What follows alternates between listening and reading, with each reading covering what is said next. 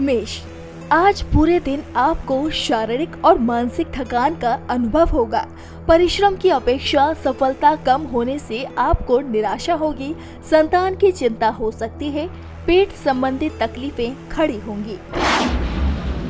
वृषभ आज आप सभी काम दृढ़, मनोबल और आत्मविश्वास से पूरा कर सकेंगे।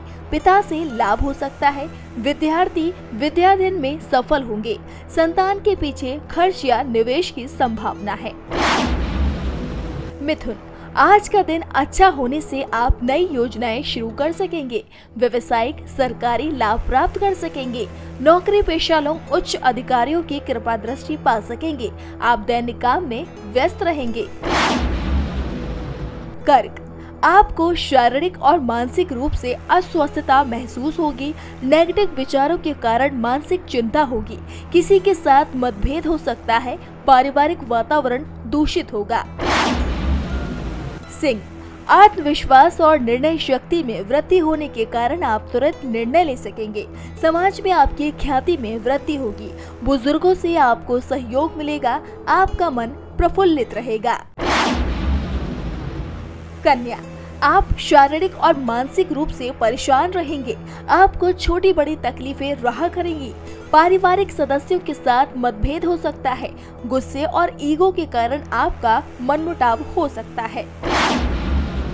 तुला आज आप अलग अलग क्षेत्र से लाभ प्राप्त कर सकेंगे। उसके कारण आपको शारीरिक, मानसिक रूप से प्रसन्नता का अनुभव होगा। आपका दाम्पत्य जीवन अच्छा रहेगा। आर्थिक वृद्धि होने का योग है।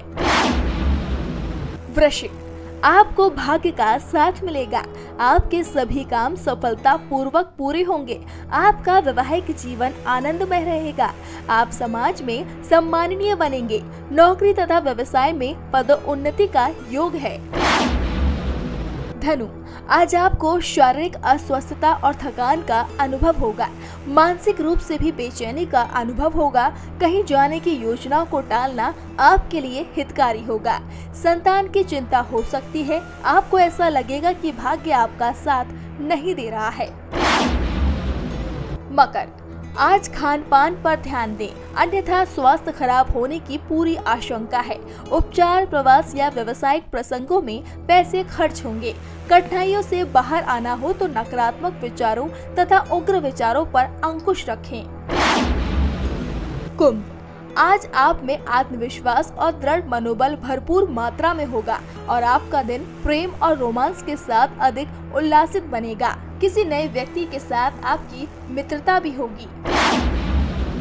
मीन घर में शांति और आनंद के वातावरण का सकारात्मक प्रभाव आपके काम पर देखने को मिलेगा, परंतु आपको अपने उग्र स्वभाव और वाणी पर अंकुश लगाना होगा। स्वास्थ्य अच्छा रहेगा।